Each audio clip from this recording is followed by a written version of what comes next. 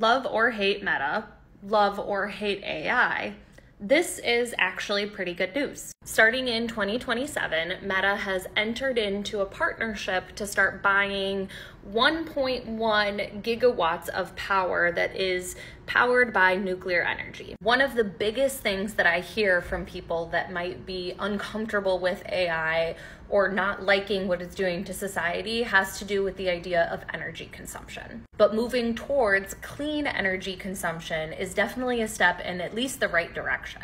Meta, Amazon, and Google are all kind of moving in this direction of trying to find clean energy sources to at least limit the burden that comes with all of the additional power that's being used by AI and will continue to be used by AI. If we're able to find clean energy sources, does that remove some of the concerns and friction that people have with the idea of AI taking a larger role in our world?